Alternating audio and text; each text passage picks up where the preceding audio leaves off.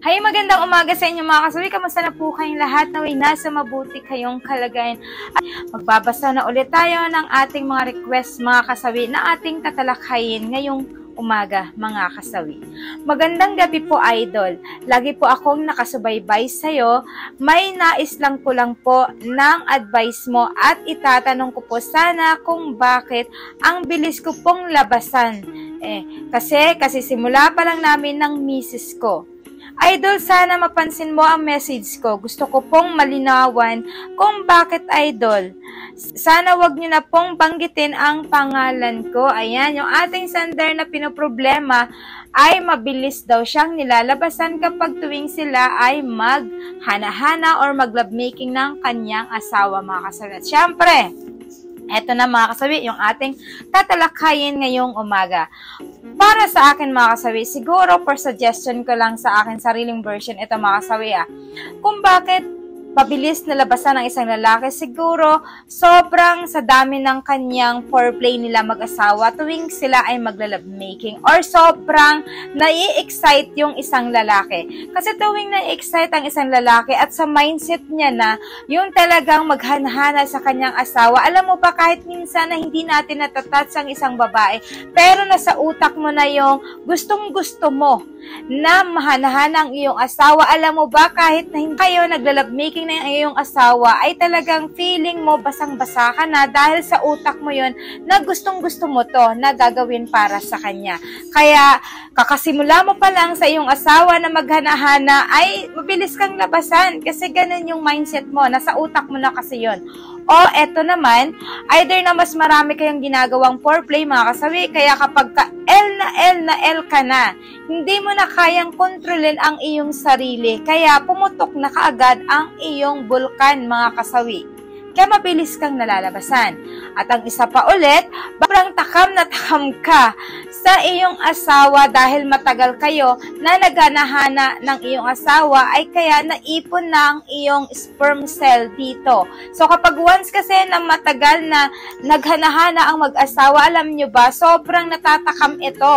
At sobrang natatakam at nai-excite ito ay talaga mabilis pumutok ang iyong bulkan kapag ganito lalo kapag once na matagal kayo nagkita, alam mo ba yung sobrang excitement ng isang lalaki, excited na siya na may ipasok ang kanyang bulkan doon sa kuweba ng kanyang asawa, mga kasabi. Kaya, kasi simula mo pa lang, magugulat ka, boom, wala na tapos na, lalabasan ka na kaagad.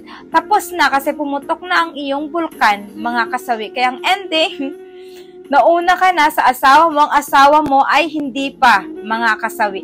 So, yan lang mga kasawi ha. Suggestion ko lang yan sa sarili kong version. Pero, syempre sa inyo, depende yan sa mindset ninyo. Mindset ko to, iba naman yung mga suggestion ninyo mga kasawi.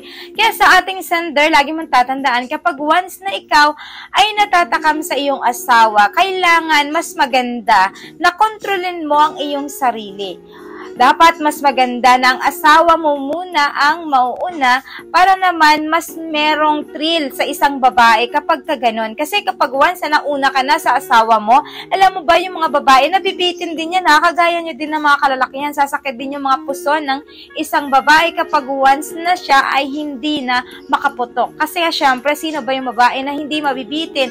Na yung andun ka na oh, malapit ka na, sa maiil ka na, tapos sabay yung lalaki ay pumutok na ang bulkan niya. Siyempre, ang babae, kapag once nalalaman niya na pumutok na ang bulkan ng isang lalaki, alam niyo ba, andun yung pakiramdam nila na disappoint sila. Siyempre, ikaw kasi, wala ka na. Tapos siya naman, yung L na L naman na siya ngayon. 'Di ba? Hindi pa naabot yung hits ng rurok na isang babae na kaputok ka na. Eh syempre yung mga babae naman nakasimangot na 'yan. Syempre, malay mo, ganun yung mga iisipin nila o tapos sabihin na, ano ba 'yan?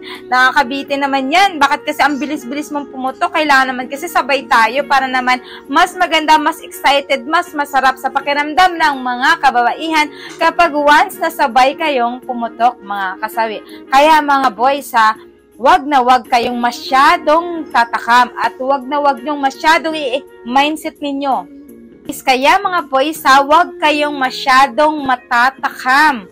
kukontrolin ang sarili at higit sa lahat, kailangan naman dahan-dahan lang para naman hindi ka agad si Manoy pumutok ng bigla-bigla at kabilis-bilis para naman nagkaroon ng thrill ang isang babae kapag kayo ay maghana-hana mga kasabi. Bigyan nyo ng excitement yung ganitong sitwasyon mga kasabi kasi tiyak na masasarapan kayo parehas kapag parehas nyo naaabot ang rurok ng kasarapan at kaligayahan mga kasabi. So yun lang po yung aking suggestion sa ating sender na tinalakay ngayon nating umaga. Naway nabigyan kita ng linaw sa iyong kagustuhan na itapik ngayon. So sa ating mga commenter, pwede kayo mag-comment. Alam ko naman na magagaling kayo pagdating dito na paano mag-control ng pagputok ng bulkan, mga kasabi. Hindi pa po nakapag-subscribe, mga kasabi, pwede na kayo mag-subscribe. Pwede na rin kayo mag-follow, updated kayo sa topic ko araw-araw. Magandang umaga, mga kasawi.